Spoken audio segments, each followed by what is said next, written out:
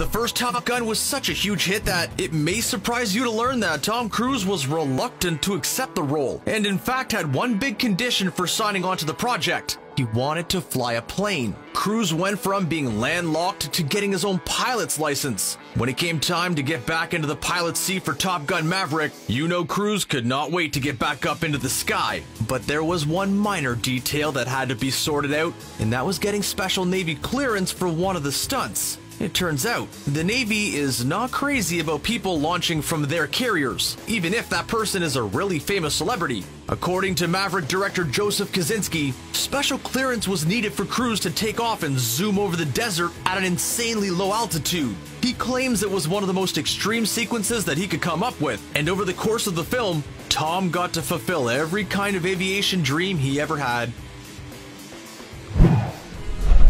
The Burj Khalifa in Dubai is the tallest building in the world, reaching an incredible 2,722 feet into the sky. Needless to say, it's a long drop to the ground, but that wasn't enough to deter Tom Cruise from scaling the side of it in Mission Impossible Ghost Protocol. The stakes were so high that even Ghost Protocol director Brad Bird admitted that he was terrified at the prospect of dangling one of his stars over a thousand feet high. But there were safety measures taken, even if fans couldn't see them.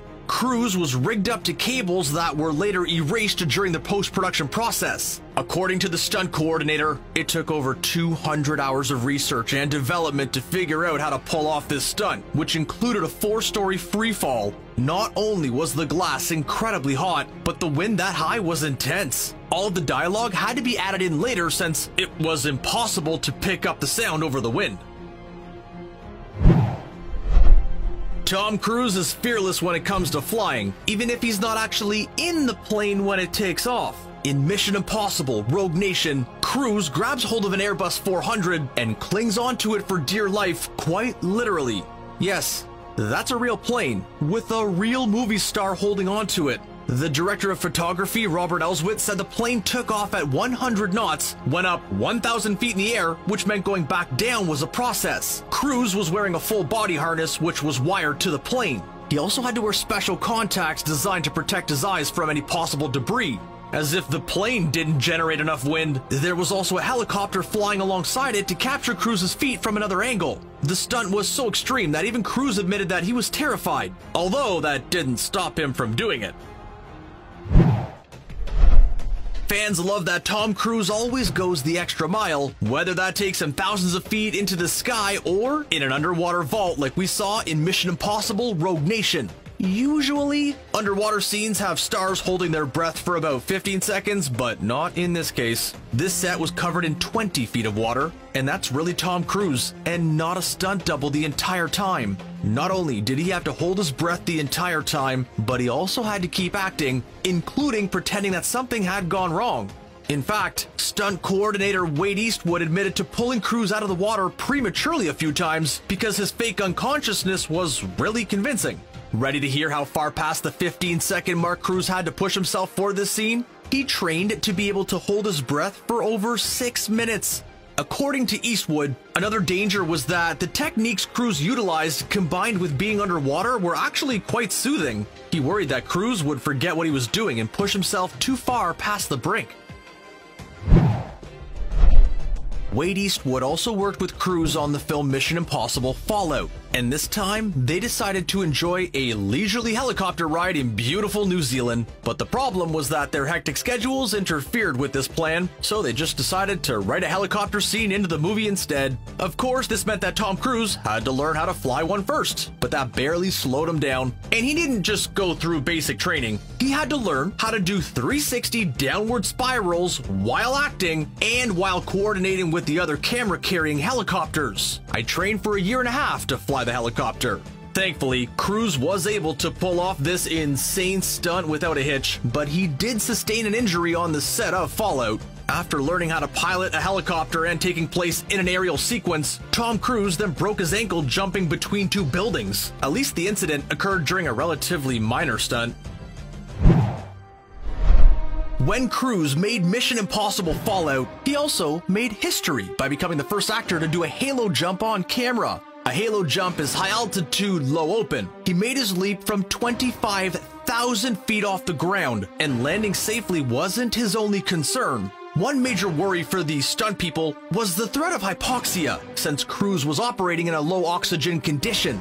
He could have easily forgotten how to pull off the stunt at the worst possible time while filming the scene. You start losing your mind, but you don't realize it. Cruise trained in a vertical wind tunnel to get ready, but the fact that the scene takes place at sunset was an added complication. He could only make one jump per day due to the strict time frame, which meant this was far from a one and done scene. During Mission Impossible 2, we saw Cruise scale a massive cliff using just two hands. He decided against using safety nets, and instead bet his safety on a thin safety cable. Director John Woo tried his best to convince Cruise to use a stunt double, but the star absolutely would not hear of it. Even Paramount Pictures suggested that it might not be the best idea, but Cruise thought that it was the perfect way to reintroduce Ethan Hunt after the first film. Not only was the scene treacherous, but it was incredibly hot in Moab, Utah, and it took seven excruciating takes to get it right. Cruise may have gotten the scene he wanted, but it cost him. He ended up pulling a muscle in his shoulder, which, in the grand scheme of things, feels like he got off pretty easy, considering what a dangerous situation he was in. In an industry with an increasing reliance on CGI, it's actually really refreshing that Tom Cruise is so dedicated to making practical effects happen. And he's understandably reluctant to pass his tasks on to a stunt double, since it would deprive the audience of seeing his handsome face, and he's just not that cruel. However, he put his movie star good looks at risk during the movie Mission Impossible Rogue Nation. Not only did he perform some incredible motorcycle moves, but he did so without wearing a helmet. Just remember not to try this at home. They used top of the line bikes in Rogue Nation, with the stunt coordinator describing them as fighter jets on wheels. Of course, these bikes came with top of the line safety features, which were properly disabled so they could take part in moves like drifting, which are not exactly encouraged by the safety manual. Back in 1996, audiences had not yet learned that no mission is truly impossible for Ethan Hunt. Let's take a look back at the original Mission Impossible, before Tom Cruise became a helicopter flying underwater expert who scaled the world's highest building. Back then, his biggest problem was figuring out how to move around while suspended by wires during the now famous heist scene.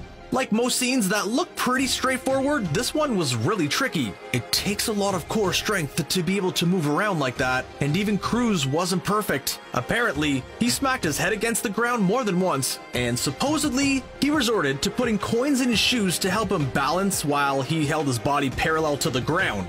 It may not be the most glamorous look, but you can't argue with results. When filming The Last Samurai, Tom Cruise learned that filming scenes on horseback can be incredibly dangerous, even when the horse is just a mechanical one. Like all of his other movies, Cruise insisted on doing his own stunts, which meant that he had to go through a lot of training in order to get ready. He had to learn how to fight with the sword both on the ground and on horseback. During one scene, he and his co-star Hiroyuki Sanada were sword fighting on horseback, but don't worry animal lovers, they were not riding real horses. While this was safer for the equines involved in production, it was very nearly disastrous for Cruise. Sanada's mechanical mount was supposed to just stop before he would have brought his sword down on Cruise's head. Only it didn't. It kept going, and only Sanada's martial arts experience and incredible reaction time prevented a behind the scenes tragedy. Although this fight scene was particularly harrowing, Cruise claims that there were a ton of things that could have gone wrong in the battle sequences. When he defended himself against numerous opponents, he had to deal with over 70 points of contact, and one wrong move could have meant losing an eye or worse.